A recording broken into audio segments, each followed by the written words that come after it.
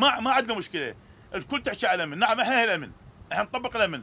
عندنا القاءات قبض نطبقها وإحنا عندنا خطة موجودة وما يقال قوة تجي من بغداد وكذا ما عندنا. لا القوات موجودة وجاهزة. عندنا ثمان أفواج المحافظه إضافة إلى أفواج الجيش.